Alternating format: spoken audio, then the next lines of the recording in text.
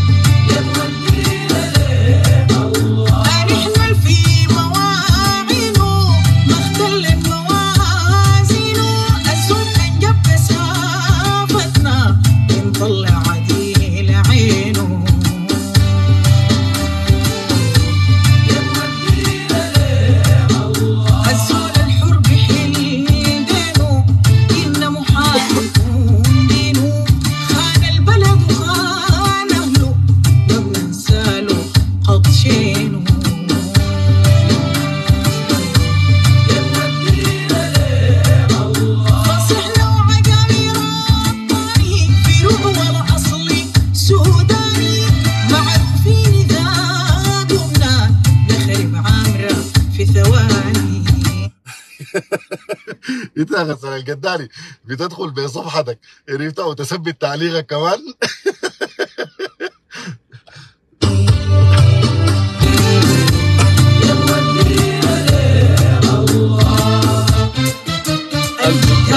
المحنك درن والقطل ينزع وقرعين وشد أهلي والبلد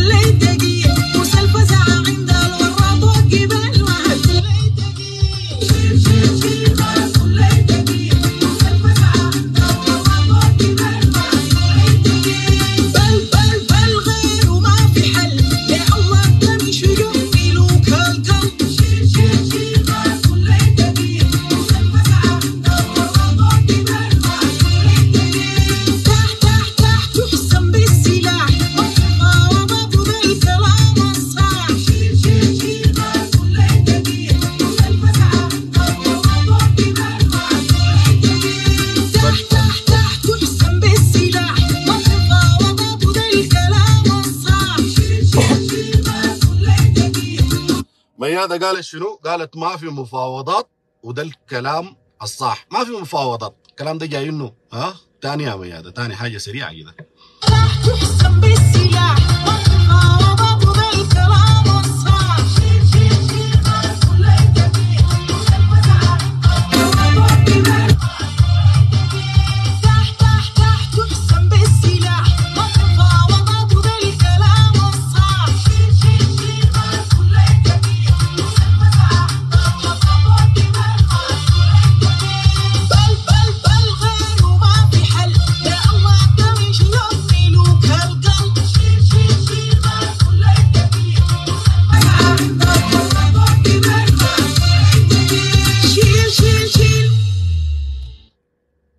السلام عليكم ورحمة الله. إن شاء الله مطمئنين إن شاء الله راكزين إن شاء الله واثقين في جيشنا وفي مقدراته وفي قوته وفي الانتصارات اللي قاعد تحصل كل يوم في الأرض وفي الشغل بتاع التضييق على الميليشيا في الداخل وفي الخارج وفي كل آه، ولايات السودان. آه الشغل بتاع الليلة والتقرير الميداني الطالع أديكم ليه إن شاء الله تكونوا مبسوطين به. آه جميعا وإن شاء الله الحاجة تكون آه الحاصلة بالنسبة لكم فوق ال- فوق الوصف وفوق العادة تمام؟ وتكونوا واثقين في إنه الجيش ده كل يوم من انتصار لانتصار ومن آه، أفضل لأفضل. وإن شاء الله الأيام الجاية كلها خير على الشعب السوداني. كل يوم قاعدين نشوف البشريات قاعد تطلع. كل يوم قاعدين نشوف انتصارات. القوات المسلحة من أفضل لأفضل. كل يوم قاعدين نشوف القوات المسلحة قاعد تطهر. في السودان من دنس الميليشيا وأعوانهم ومن التحالف اللي كان على السودان وثبات قواتنا المسلحة في جميع المحاور. طيب آه، في البداية نبدأ بتقريرنا العملياتي كالعادة تمام تقرير مفصل حتى تاريخ اللحظة تمام؟ آه بإذن الله يكون شافي ووافي وكافي لكل الناس عشان الناس تكون عارفة الحاصل شنو. طيب حنبدأ تقريرنا الليلة الليلة أهل الجزيرة. خليكم مبسوطين واستبشروا خيرا عشان الكلام الجاي سمح بالنسبة لكم.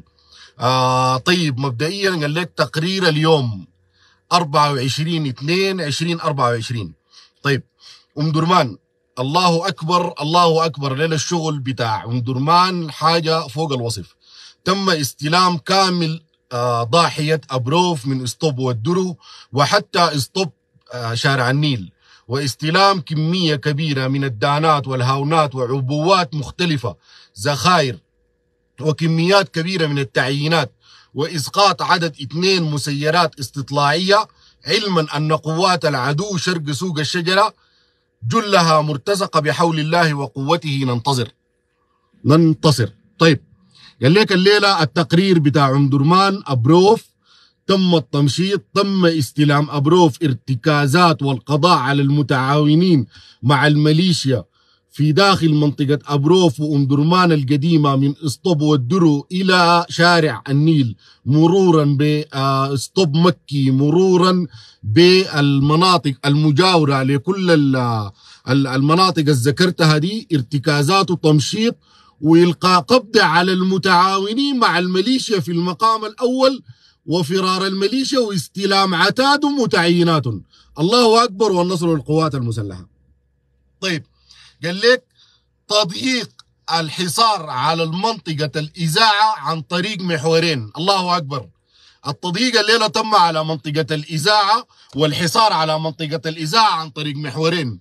المحور الأول كبر السلاح الطبي وشارع الموردة وسوق الموردة والثاني عن طريق أم درمان القديمة حتى شارع النيل. الله أكبر.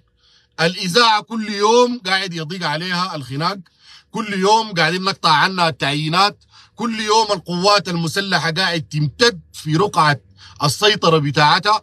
كل يوم في أم درمان قاعدين نقلص العدد بتاع الميليشيا ورقعة السيطرة بتاعتها داخل أم درمان. الله أكبر الكلام ده يا جماعة. كله انتصارات كبيرة للقوات المسلحة. أم درمان دي كانت المركز الأساسي. اللي سيطرت عليه الميليشيا. المركز الأول لنفوذه ولدخوله. ولدخول تعييناتها ولدخول امدادها ولدخول المرتزقة بتاع من كافة الدول هو أم درمان. فدائما بنبدأ بخبر أم درمان لسبب إنه أم درمان هي النقطة الأساسية في قوة الميليشيا. لو إحنا قدرنا نسيطر على أم درمان بالكامل وده الحاجة اللي حتحصل في خلال الأيام الجاية أنا بوعدك تماما بانه الميليشيا انتهت داخل السودان وفي أفريقيا كلها مش في السودان بس. طيب نمشي قدام شوية. آه في تقريرنا بتاع اليوم. آه بيقولوا شنو تاني؟ قال لك آه الجيش وشرطة الاحتياطي المركزي أبو طيرة ينتشرون في المناطق المحررة. الله أكبر. الشرطة استجابت أخيرا للنداءات اللي أطلقناها في الفترة اللي فاتت. إنه يا جماعة بعد ده أنتوا لازم تنزلوا الميدان لازم تفتحوا الأقسام لازم تتحركوا لازم تشتغلوا. ودي الحاجة اللي حصلت. قال لك الجيش والشرطة اليوم في أم درمان تفرض سيطرتها تمام؟ ومع الاحتياطي المركزي على المناطق المحررة في أم درمان. الله أكبر الله أكبر. خصوصا محور أم درمان شارع النيل. قال لك شغل نظيف يفتح النفس. الله أكبر. الله أكبر والنصر القوات المسلحة. الليلة الحاجة اللي حصلت في أم درمان من انتشار الشرطة من انتشار القوات المسلحة من انتشار ناس آه، أبو طيرة. ده بيأكد لك تماما إنه الفترة الجاية ده الكلام اللي إحنا بنتكلم فيه. نزول الشرطة الميدان نزول الشرطة الميدان هو اللي بيطمن المواطن وبيخلي المواطن يجي راجع لمنطقته. طيب تاني برضو من الحاجات اللي حصلت قال لك الليلة في التقرير بتاعنا بتاع اليوم آه قال لك الفتيحاب الشنقيطي تمام؟ الأسواق في أم درمان بتاعت الفتيحاب وبتاعت الشنقيطي مفتوحة تمام؟ ومؤمنة عن طريق الشرطة والجيش وحركة طبيعية للمواطنين. الله أكبر. يعني إحنا زمان كنا بنتكلم عن شارع الوادي وعن آه، الشغل بتاع ربط كرري. الآن قال لك الشنقيطي والفتيحاب مفتوحة ومؤمنة بالشرطة والجيش. الله أكبر. أم درمان كل يوم القوات المسلحة قاعدة تزيد في رقعة سيطرتها كل يوم قاعدة تزيد في ارتكازاتها كل يوم من قوة لأقوى. ده كلام فوق الممتاز. قال لك الليلة والي الخرطوم والينا التحية لوالي الخرطوم للمواقف الثابتة للمجهود الكبير اللي بيعمل فيه. قال لك والي الخرطوم وصل إمداد للمناطق المحررة في الخرطوم اللي كانت في يد الميليشيا. الله أكبر. الله أكبر. الشغل الشغال الليلة والي الخرطوم؟ في أم درمان من فتح مراكز صحية من آه الضغط على ال- الشرطة من التوزيعات من توصيل الإمدادات. للمناطق اللي كان محاصرة الدعم السريع تمام؟ والميليشيا والمرتزقة الأجنبية الجاية من كل دول العالم الحمد لله الليلة والي الخرطوم قاعد يوصل في تعيينات وفي إمداد للمناطق دي. الله أكبر الله أكبر الله أكبر. طيب الحاجة اللي حصلت تاني شنو الليلة؟ الليلة يعني في كمية بتاعت بتاعت انتصارات ما لاول من آخر. من ام درمان وإنت ماشي. طيب قال لك الإدارات الأهلية ولاية الشمالية عملوا قافلة مع إشراف الوالي إسنادا لولاية الخرطوم. الله أكبر. الله أكبر. الولاية الشمالية عملت مع الإدارات الأهلية ومع الوالي إسناد لولاية الخرطوم. الإسناد ده بعباره عن شنو؟ عبارة عن مواد تموينية، عبارة عن تعيينات، عبارة عن غيره، طيب الكلام ده هو أصلا قاعد يحصل لشنو؟ الكلام ده اللي بيحصل لحاجتين، أول حاجة بيقول لك إنه تأمين لكل الطرق السفرية الداخلة لولاية الخرطوم. تأمين لكل الطرق السفرية الداخلة لولاية الخرطوم. الكلام ده بيقول لك شنو تاني؟ بيقول لك الإمداد بتاع التعيينات والمواد الغذائية الداخلة ولايه الخرطوم بينفي لك الإشاعات اللي قاعد تطلع الأيام دي في الميديا بتاعت إنه والله يا أخي ولاية الخرطوم عندها نقص في المواد التموينية عندها نقص في الإمداد عندها نقص في غيره. الكلام ده غير صحيح؟ الوالي الليلة أنتوا شفتوه بعينكم جابوه في الحدث جابوه في الجزيرة جابوه في العربية تمام؟ قاعد يستلم قوافل من ولاية الشمالية كويس؟ آه لداخل أم درمان قاعد يوزعها على المناطق المحاصرة للفتيحات للشنقيطي لغيره. الله أكبر كل يوم قاعدين ننتصر كل يوم قاعدين نوصل إمدادنا كل يوم قاعدين نزيد الرقعة بتاعت السيطرة بتاعت القوات المسلحة. طيب آه نمشي قدام في تقريرنا. بعد ذاك عندنا كلام تاني دايرين نقوله لكن نخلص التقرير أول وبعد ذاك نمشي في الباقي. طيب آه بحري. بحري قال لك عودة مركز صحي الكدرو للعمل ابتداء من اليوم. بعد توقف دام طوال الشهور الماضية منذ انطلاق الحرب. نصر من الله وفتح قريب. الله أكبر. الله أكبر. الليلة قال لك عودة مركز صحي الكدرو. الكلام ده بيقول لك شنو؟ الكدرو دي يا جماعة وبحري دي من المناطق اللي كانت مسيطرة عليها الميليشيا وكان فيها كثافة كبيرة للقوات بتاعت الميليشيا داخل المناطق دي. اللهم لك الحمد ولك الشكر إنه المناطق دي الآن بقت في سيطرة القوات المسلحة والمركز الصحي بتاع الكدرو رجع يشتغل الكلام ده نحن قلناه قبل ثلاثة يوم إنه والله يا أخي بحري فيها شغل بقى فيها ربط كويس بقى فيها منصة بتاعة إطلاق للمسيرات بقى فيها غرف بتاعة تحكم داخل بحري ارتكازات القوات المسلحة زادت. الحاجة دي الليلة النتائج بتاعتها بدأت تظهر. من أول النتائج اللي بدأت تظهر هي عودة مركز صحي الكدرو للعمل. ابتداء من اليوم بعد توقف دامة طوال الأشهر الماضية. الله أكبر. يا ناس بحري استبشروا خيرا. قلنا لكم الارتكازات وصلت الكدرو قلنا لكم الارتكازات وصلت آه السامراب قلنا لكم الارتكازات وصلت لغاية ما دخلت آه اسمه شنو ده؟ كافوري مربع واحد. العزبة بداية شارع الانقاذ الموضوع ده كل يوم ماشي من سيطرة لسيطرة. الله أكبر. طيب نجي لوين تاني الليلة؟ لأهم نقطة في الأيام اللي فاتت. القحاته يشتغلوا فيها شغل عفن شديد. اشتغلوا فيها شغل عفن شديد. اللي هي يا نقطة اللي هي قال لك ولاية الجزيرة. ولاية الجزيرة. الجيش يسيطر على منطقة ابقوتا وعدد من القرى المجاورة. الله أكبر. الله أكبر. يا ناس ولاية الجزيرة. استبشروا خيرا. الليلة الجيش سيطر على منطقة ابقوتا تماما. وعدد من القرى المجاورة لابقوتا يا في زول بيقول ال live ما ثابت. ال live ثابت يا شباب الصوت واصل. الصوت واصل. زول يكتب لنا يقول لنا الصوت واصل.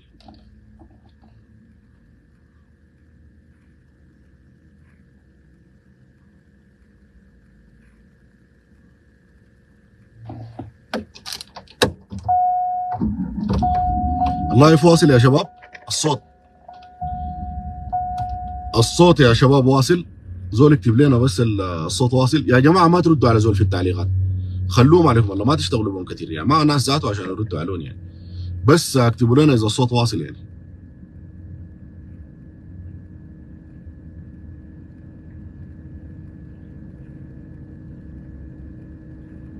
تمام قالت آه، ريان الصوت واصل.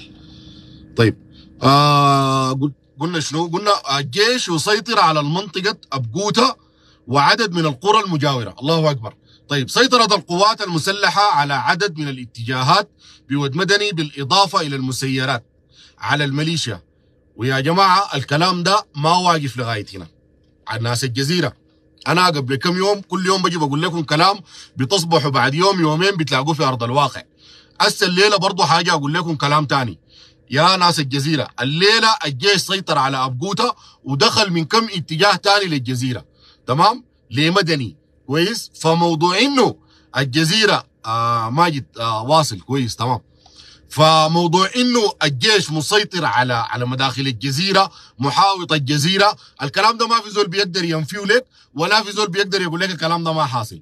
الليلة قال لك سيطره القوات المسلحة على عدد من الاتجاهات بود مدني بالإضافة إلى المسيرات على الميليشيا. والأخبار السمحة يا جماعة جاية في الطريق. الأخبار السمحة يا ناس الجزيرة جاية في الطريق. فالصبر شوية تمام؟ أنتوا الوضع الآن قلنا لكم قبل كده أنتوا بقيتوا الآن أولوية أولوية تمام؟ لدخول القوات المسلحة للجزيرة. لأنه نحن بالنسبة لنا أم درمان الخرطوم عبارة عن شغلة بتاعه نظافات وماشية كل يوم من أفضل لأفضل. طيب نمشي قدام. نمشي قدام. آه وجايكم تاني أنا يا ناس الجزيرة. نمشي قدام. قال لك غربي كردفان. الحقت الفرقة 22 بابانوسا هزيمه نكراء بالميليشيا؟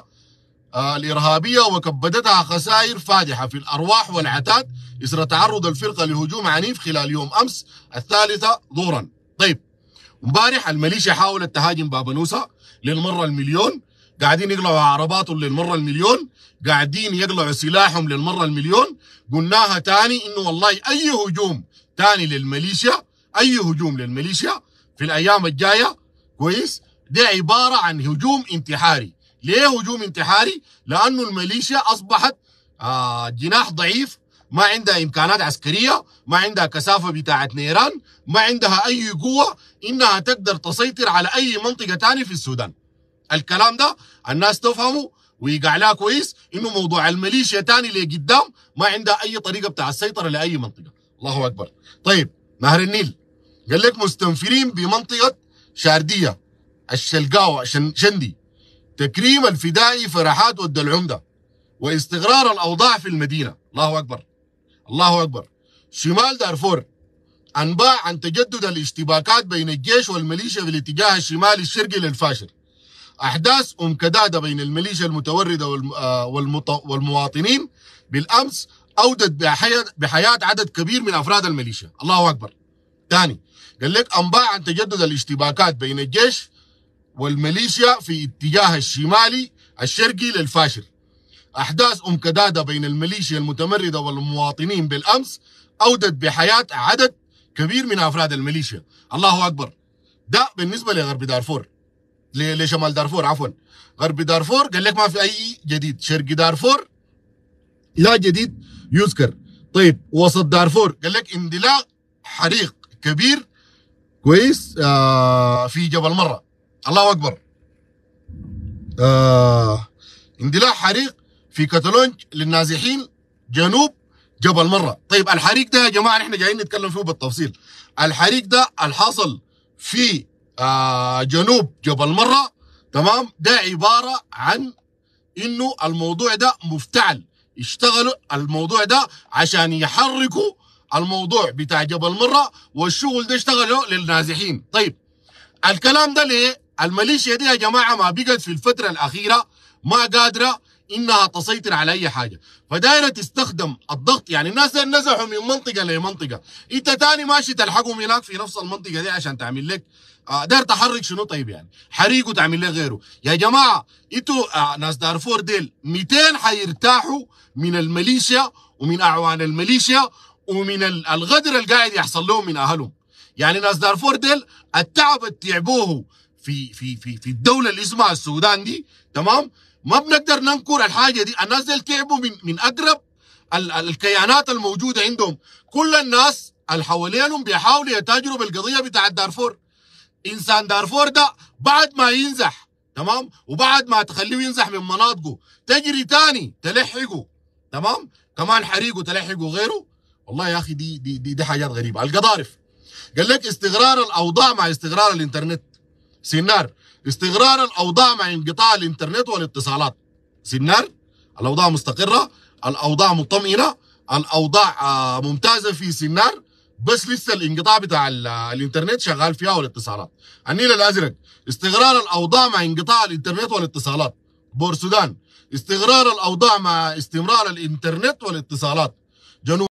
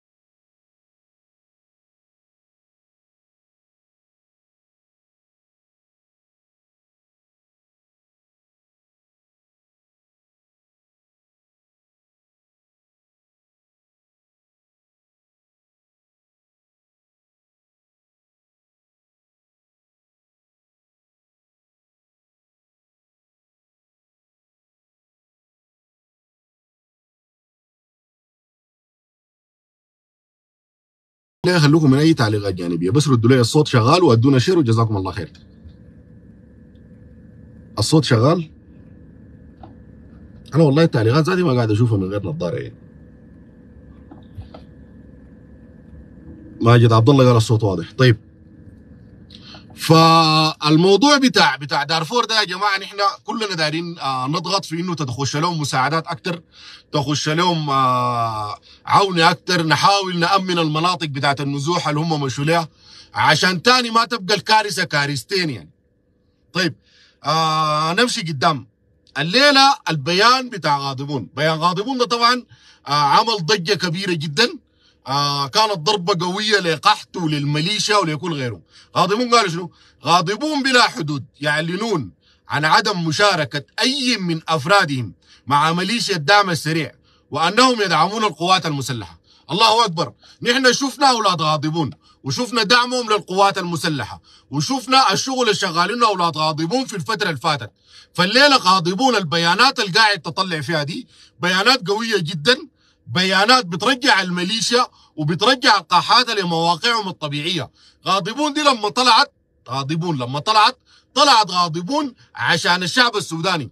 ما طلعت عشان كيان ما طلعت عشان حزب ما طلعت عشان غيره. فشكرا غاضبون شكرا لأولادكم الموجودين في الصفوف الأمامية في القوات المسلحة. شكرا غاضبون على التضحيات اللي قاعدين تقدموها. شكرا إنكم قدرتوا تستعملوا كل الفترة اللي فاتت الإشاعات اللي طلعت فيكم والتأويل اللي طلع فيكم. وجزاكم الله ألف خير على اللي بتعملوه. وأنتم ما مشحوتين على الحاجة دي يا أولاد غاضبون. دي الحاجة المحرية فيكم ودي اللي ع- عهدناكم عليها ودي الحاجة اللي أنتم طلعتوا لها من أول يوم. طيب قوى سياسية سودانية تناقش القضايا الوطنية ما بعد الحرب في السودان في في السودان طيب يا جماعة قلنا أي عمل سياسي ما في. أي حاجة حاليا غير إنه الميليشيا دي تنتهي وتندثر ان إحنا ما عندنا. أي عمل سياسي الآن في أرض الميدان عشان يقول لك والله الميليشيا دي تقعد ولا تيجي اتفاق ولا يجي غيره الكلام ده ما حاصل. الفترة الجاية حنشوف كمية من الإشاعات حنشوف كمية من الحاجات هتيجي طالع علينا بأشكال مختلفة بأشكال متعددة إنه والله لا لا في اتفاق حيكون في جدة في اتفاق حيكون ما عارف وين في تفاوض. الكلام ده غير صحيح. أي زول يتكلم لك عن اتفاق ولا يتكلم لك عن تفاوض الكلام ده أنسى. ما هو ما في حاجة عشان أنا أفاوضك عليها وما في أي حاجة عشان أتفق معاك عليها.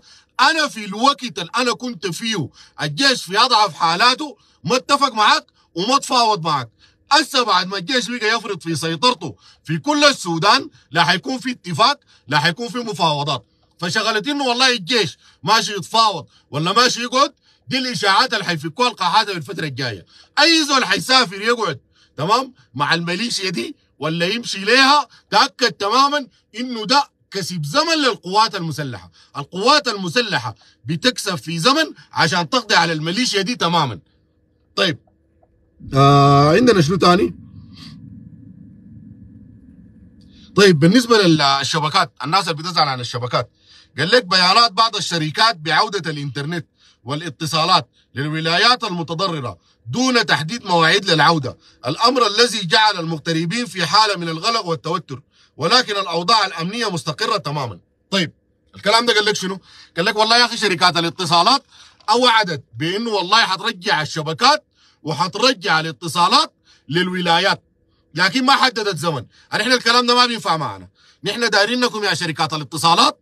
تحددوا لنا زمن لعودة الإنترنت. عشان إحنا نجي نقعد والله نقول والله الشركة الفلانية قالت ال- الموعد الفلاني والشركة الفلانية قالت الموعد الفلاني. لكن شغلت إنه تخليها لي مبهمة كده دي ما بتنفع. ولا الحاجة دي بتخليكم بعدين غير مسؤولين قدام الشعب السوداني إنه ما عندكم خطة بديلة لحالة الطوارئ اللي حصلت دي.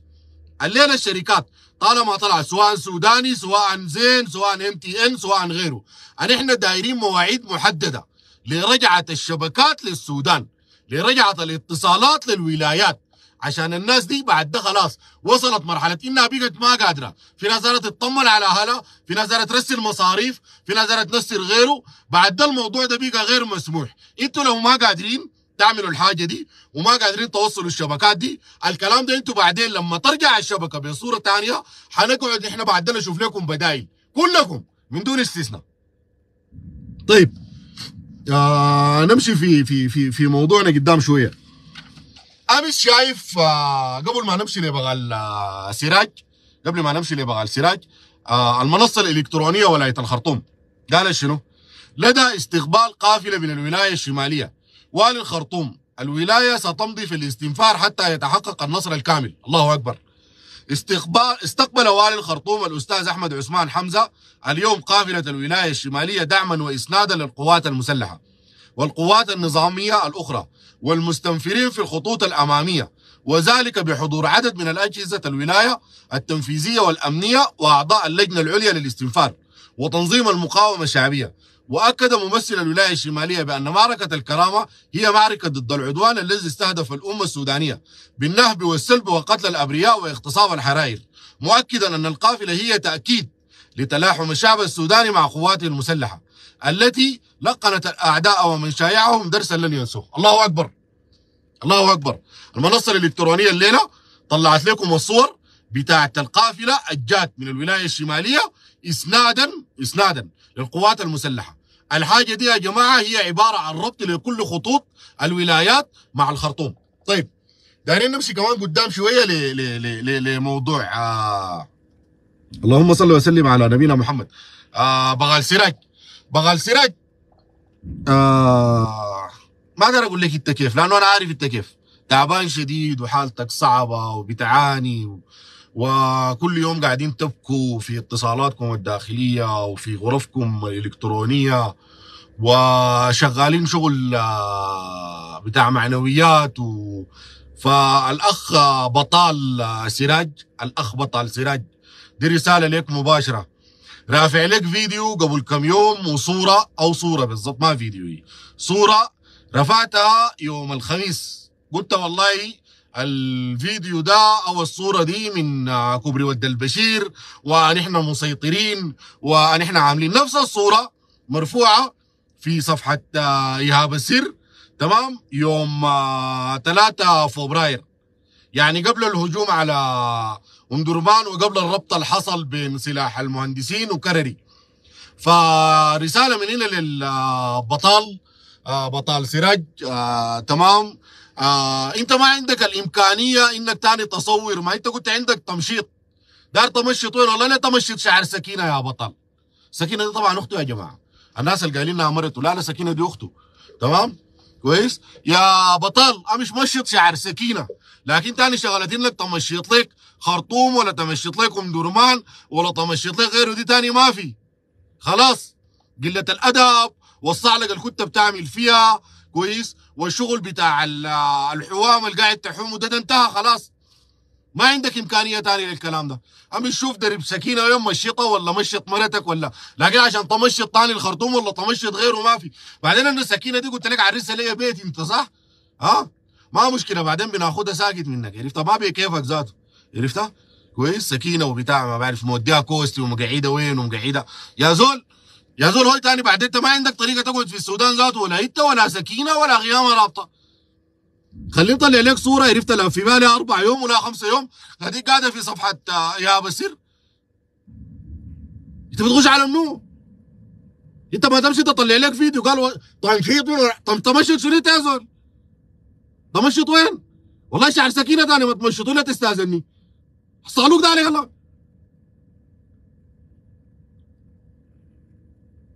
جماعة والله شغله عجيبة خلاص. بغال سراي كمان بقى يطلع يتكلم. قال والله شغالين تمشيط. من ولاية من ولاية. كذاب. كذاب انت. اطلع امشي اشتغل تمشيط من أي حتة ثانية اطلع اشتغل تمشيط من شارع على 40 اللي لك شهر قاعد تقول انت أنا ماشي الشارع على 40 ده. طمشي شنو تقول طولك كله شبير. طمشي شنو انت؟ هوي هوي. هو يا يا يا يا دعامة ويا مليشيا ويا بتاع. ما تقلوا أدبكم وتطولوا لسانكم وتصالقوا في الفرغه تاني ما عندنا زمن للكلام ده نحن. ما في زمن. تاني لا تشتغلوا بفيديوهاتكم القديمة دي. وأي فيديو قديم بتطلعوه بنطلعوا عليكم طوالي بنقول لكم ده تاريخ اليوم الفلاني. أبقى راجل مش ماشي الثاني كويس شارع ال 40 ده. كويس واذكر الفيديو ده. طلع فيديو بتاريخه. حمار.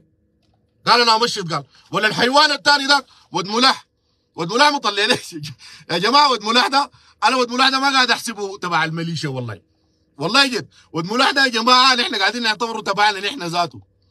الزول ده شدة ما حمار وشدة ما غبي مشى عمل له لقاء مع واحد من ناس مدني. عمل شنو في اللي غاده ولا قال شنو في اللي غاده جاب الزول قال لي يا أخي اسمع بالله قاعدين يسرقوا هنا منو؟ قال له والله يا أخي البيوت اللي قاعدين فيها تمام ما في زول قاعد يسرقها. لكن البيوت الفاضية قاعدين يسرقوها الدعامة.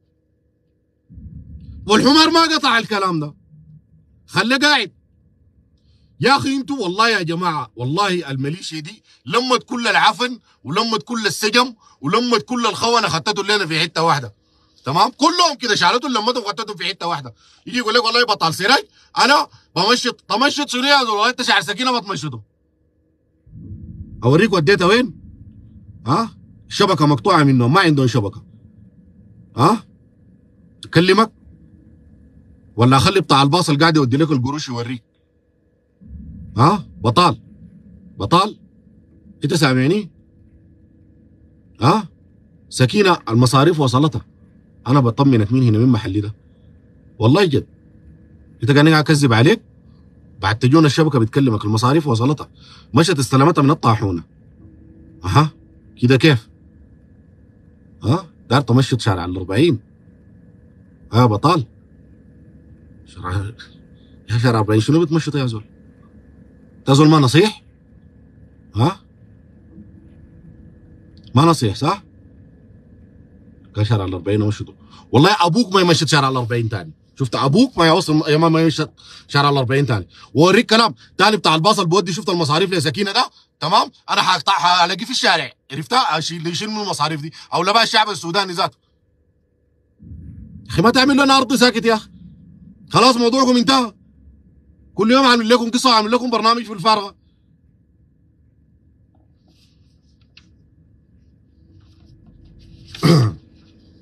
طيب. نمشي قدام شوية يا جماعة. آه في تحركات شغالين فيها الشباب الآن عشان الموضوع ما يكون كمان حصار داخلي وحصار خارجي. تمام بقى الحصار من كل الاتجاهات. الحصار بقى من كل الاتجاهات. طيب في شباب تقلق تحركات للشباب السوداني في الخارج في اتجاه إقامة دعاوي ضد الميليشيا. منهم شباب لجنة دعم مؤسسة الجيش السوداني بهولندا. بصدد فتح بلاغات رسمية ضد الميليشيا آه غدا في محكمة الجنا- الجنايات الدولية لاهاي. تمام. بالله عليكم والله بغال ده ما تحسبوا مع الميليشيا. الناس الماشيين يفتحوا البلاغات في هولندا ديل.